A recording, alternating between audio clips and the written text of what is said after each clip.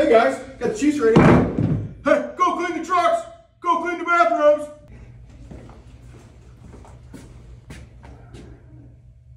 He's right behind me, isn't he?